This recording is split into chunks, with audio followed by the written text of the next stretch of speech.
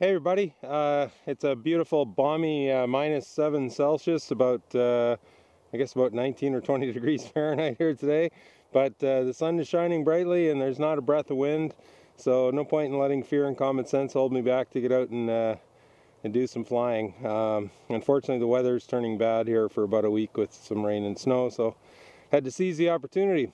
So today I uh, have my um, one of my trusty MiG-35Bs and I'm doing up the uh, finalizing some of the testing on this uh, Fasttech uh, 2212 6 2700 kV motor. Uh, today I'm uh, spinning a 6x3x3 uh, carbon fiber prop from RC Timer.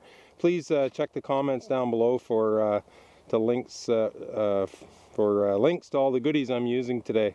So uh, anyway, it's sounding a bit louder than it should. I think it's mostly because the foam is frozen, as, as, is just about everything else. Uh, this plane was sitting in the garage uh, overnight before I brought it out to the field, so uh, the, the foam and the prop are making kind of some funny harmonics at times. But anyway, fortunately uh, she's flying well, and pray to God uh, we don't crash or it'll just be nothing but a bunch of confetti with the foam being so cold.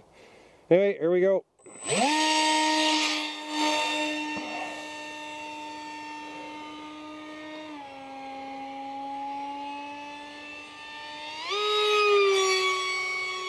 So pretty uh, pretty speedy little combo here with uh, with this motor. This Fasttech motor is uh, really turning out to be a good find um, since the 2212 6 2700 kV motors seem to be harder to find these days.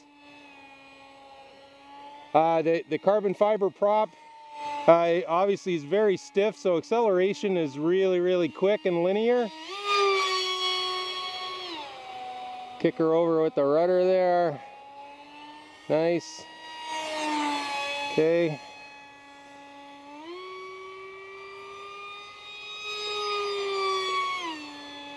Keep her out of the sun. So nice quick acceleration.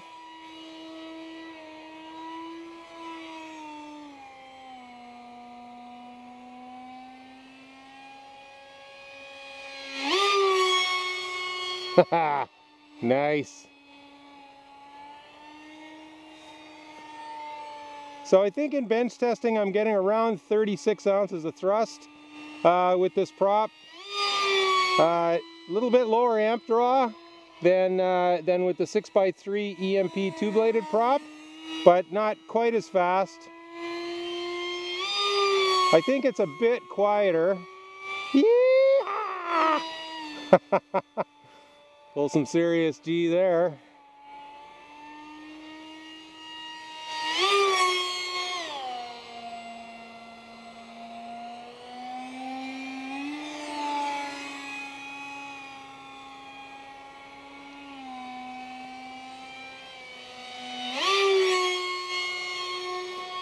So running a 40 amp speed controller, uh, 2200 three cell 40C battery. Lots of, lots of get up and go. Oop. Almost lost her in the sun. That would be a self-critiquing error.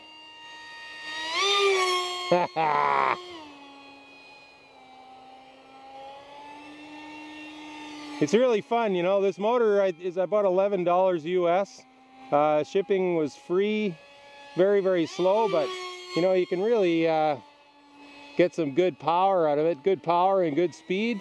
And it doesn't uh, you know it, it, weighs the same as your standard uh, 2212 2200 motor but uh, considerably uh, considerably more power on three cell.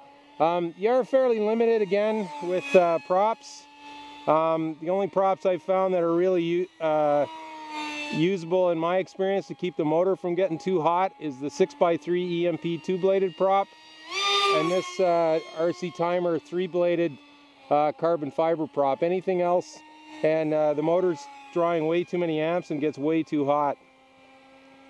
Um, but you know, for the price and the weight, uh, yeah, I'm uh, I'm really happy. This has always been one of my favorite uh, power power setups. So we're going to bring it in and land from the other side. Doesn't really matter. There's no wind today. See what sort of landing rollout we get on the on the frost frosty grass. so there we have it, uh, folks. Uh, a little bit of uh, desert camo action in uh, Arctic conditions, I guess you could say. So um, yeah, I'm just uh, pretty much done the testing now with this uh, Fasttech 2700 motor. I'll be posting up some details, more details on our NAMC website and on the uh, RC Powers uh, ParkJet motor uh, bench testing thread. So uh, thanks, uh, thanks very much for watching. As always, blue skies, calm winds to everyone. Uh, ParkJet noise, the other sound of freedom, baby. Take care.